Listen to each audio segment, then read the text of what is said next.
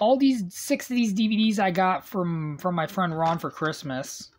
And Merry Early Christmas, you guys. This DVD came brand new factory sealed when I got it. This is a 2005 DVD. I kept finding the VHS of this one nonstop over and over again at Media Mogul, but I kept on not constantly not getting it. Finally got this for my Will Ferrell movie collection. I know there's a VHS of this one, but it's extremely hard to find. Despite it having, despite the DVD having some marks on it, the disc still works. These last four I hope to get on VHS. Purchased from Blockbuster on June 7th, 2004.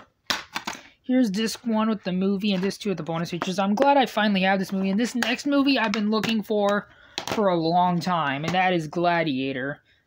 This had the annoying tabs on which I broke off. I heard this movie is really amazing, so I'm gonna watch it.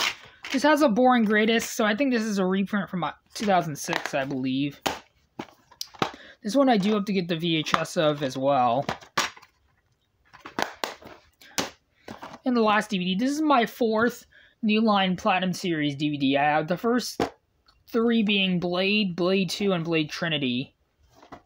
This one, this movie, I used to have the two disc DVD of this one. That was a reprint from Warner Home Video, but I donated it. This side's on the movie, and the other side's the special features. And I did test all six of these DVDs, and they still work. So yeah, that is it for my DVD update for December 24th, 2021, and which I hope you guys enjoyed this video, and Merry Christmas, you guys. Even though it's Christmas Eve, I decided to say that anyway. So yeah, that is it. See you guys later. Bye, everybody.